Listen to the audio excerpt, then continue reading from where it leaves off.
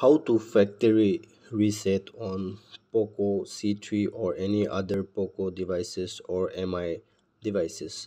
Hello guys welcome back to another brand new video. So today in this video i'm going to show you how you can factory reset on poco c3 so without wasting much more time let's get started. So first of all you just need to go to settings here. Just go to settings and then after going to settings here you have to just scroll down. I mean sorry you have to go to about phone here. Simply go to about phone and then this type of interface will be pop up. So to get the factory reset you just need to scroll down. And here you can see factory reset. You just need to click here. Okay after clicking here you can see factory reset accounts um, i mean accounts contacts photos and videos apps backups order item on this device.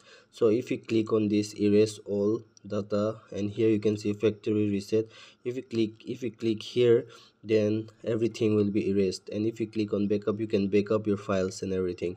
So here you can see account contacts photos and videos apps backups everything will be erased from here. So this is how you can get factory reset on poco devices. Thanks for watching guys. See you soon on the next video